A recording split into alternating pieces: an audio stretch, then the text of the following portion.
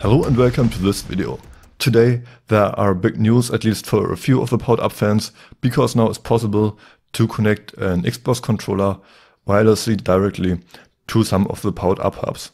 And that's possible thanks to the newest Pybricks beta version um, because well it supports the direct connection to Xbox controllers that works with the Technic Control Plus hub, the Mindstorms or Spike Prime large Technic hub and the Spike Essential small Technic hub. The City and Boost Move hub are not supported and um, you can use them free freely and program them either in this paid um, Scratch environment. The Python environment is free, so you can also use it free, but then you will have to, do, uh, to use Python.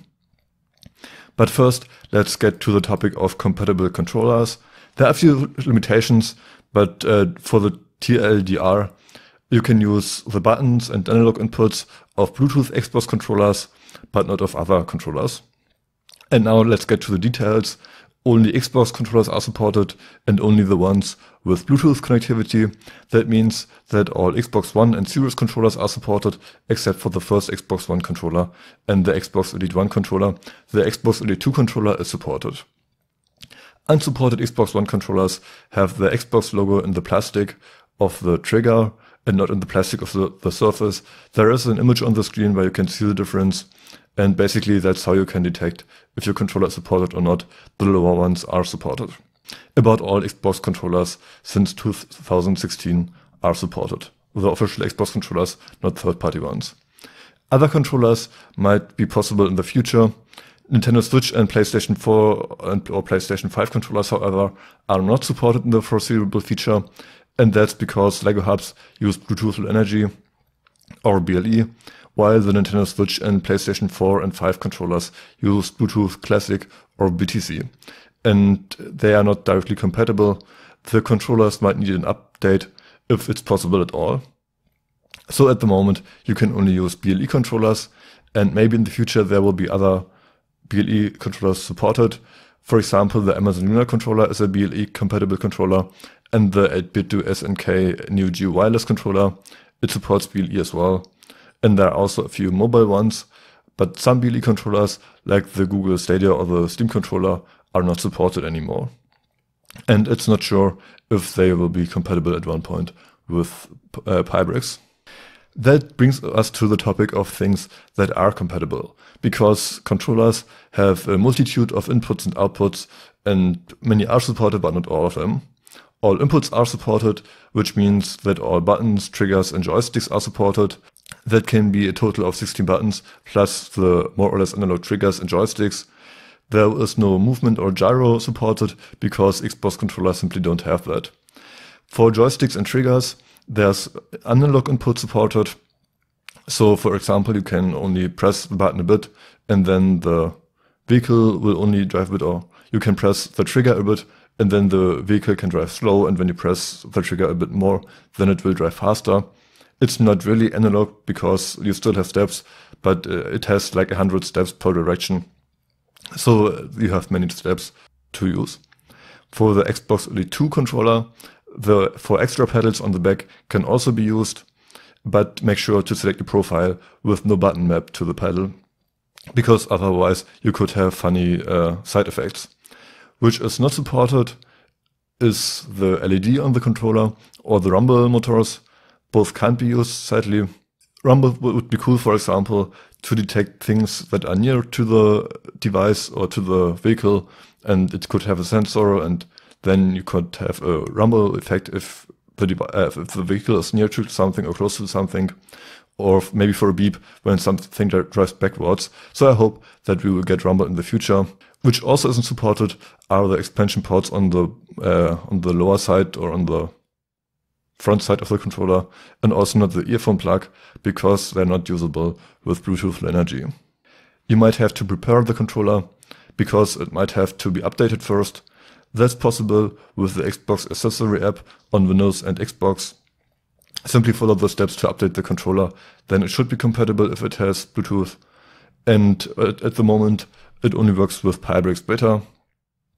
Um, you can go to the settings and usually here is the option to return to the stable version or to switch to the beta. And in my case, I'm at the beta. And at the moment, Xbox controllers only work with the beta. So let's get how to use it for the graphical environment. You can go to the setup and then you can find the controller. It has to be set up first and then you can go to input and get the values. They are in the buttons and force category. Here you can get button presses and you can get the analog inputs. And for example, um, I can print them to the screen or to the uh, command line. And here I can enter the buttons. I can select the button which I want to check and also the trigger or the joysticks. I can also now check the code of this uh, code. And here I can see how to use them. First, uh, the controller has to be imported. It's similar to the powered up remote, um, how to use it. Then you can set it up. And afterwards, you can check the buttons with this or the analog values with this still it's not analog, it's still values, but it's many values instead of like a button is pressed or not pressed. And there's also a documentation for this. For that you can go to this book. I can close the code view. And here you will not find it on the home screen. You will have to go to this extra thing and there you can find the IO devices. And there you can find the Xbox controllers. And here you can find the buttons that you can check it's especially interesting for Python code because then you know uh, how you can access the buttons. For example, P1, P2, P3, and P4 are the pedals of the Xbox Elite 2 controller. And you can also code the controller in Python. Again, Python is free. I will also link the code that, that you see here in the description. So you can use this code if you want. It's for the uh, app control transformation vehicle that Lego released a few years ago. But of course, you can also change the code so that it works for your purposes. And here I also imported the Xbox controller and I defined it and then I check for button presses. I can then check in code if uh, the button is in the pressed variable or in the pressed list. And I can also use these analog inputs. Usually for the controllers, uh, for the joysticks, you have joystick left and right, and zero is the X direction of the joystick, and uh, one would be the Y direction of the joystick. For the triggers, I think zero is the left trigger, and one is the right trigger. And that's basically how you can use it. Uh, this example code also assumes that you have a LED with the app transformation vehicle in port C. You can simply remove this line and this line and this line if you don't have the LED, but otherwise this code should work fine. Now if you want to test the code, um, you will have to start it. You can also see uh, for the Control Plus Hub, it will be disconnected from the environment, from, from the program, programming environment. You will have to connect it afterwards, and you can also not use the console print. But apart from that, it's fine. Um, and it works similarly to the normal powered up remote.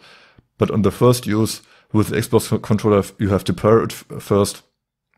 And for that, you have to start it. Then, uh, or usually when the controller is turned off, simply the LED is off. When you turn it on, it starts to blink slowly, and then it searches for a device that's already paired.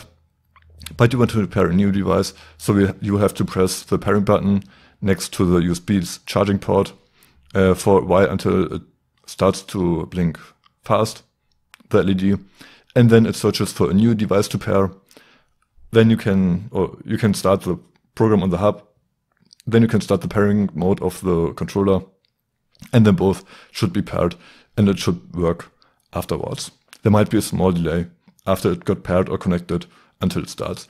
When the controller is uh, paired and connected to device, then it has a constant light. And the pairing only has to be made in the first time when you use it or after you connected the controller to another Bluetooth device. Um, you don't have to pair it each time you turn the controller or the hub on.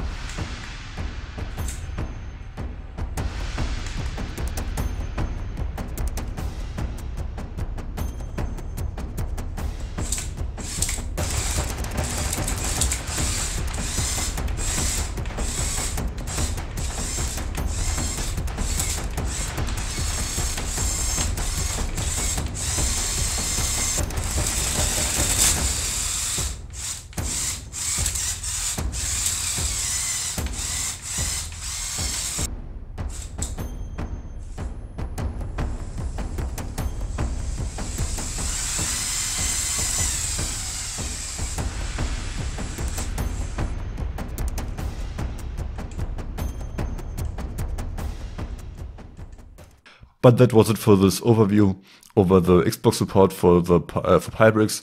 If you want to know anything more or if you have any questions, please tell me in the comments. I think that it's really cool for people that want it. It's pretty clear that for one, gamepads are very good input devices because they were developed over many years and they are pretty much the gold standard to control anything.